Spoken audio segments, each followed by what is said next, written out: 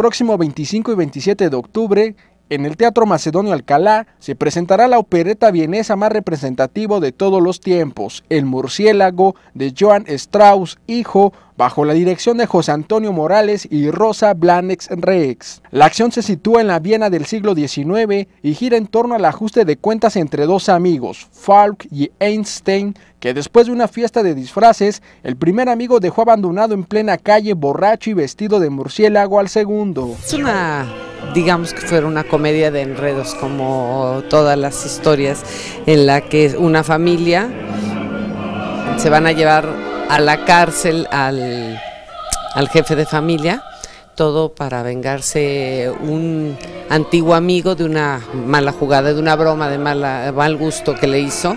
Entonces hace que el tiene una orden de arresto, antes lo hace ir a una fiesta del príncipe Orlovsky. Todo, toda esta trama es para enredarlo ahí en... Eh, para vengarse, es la venganza del murciélago, ¿sí?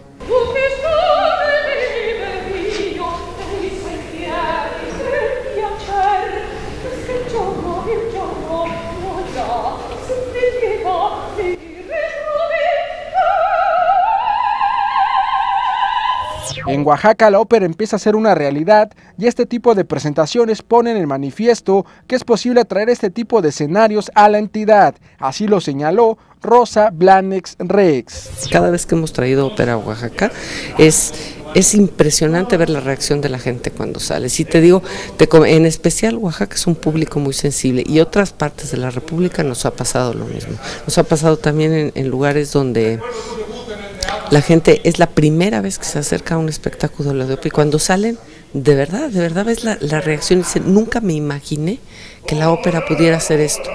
Este teatro está hecho para eso, hecho, estuvo hecho para la ópera, yo creo que es el que mejor se oye en las voces en, la, en toda la República Mexicana. Es una delicia estar aquí, no tienes que amplificar el audio como en teatros ya muy grandes. La ópera está hecha para, para oírse sin ninguna amplificación. Ese es la, el chiste de la ópera. Ya si vas a meter los micrófonos, pues entonces ya estamos hablando de...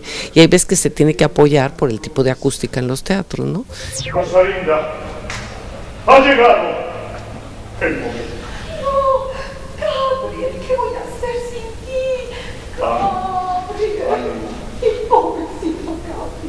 Con imágenes de Oswaldo Mijangos informó para MBM Televisión, Irán Sánchez.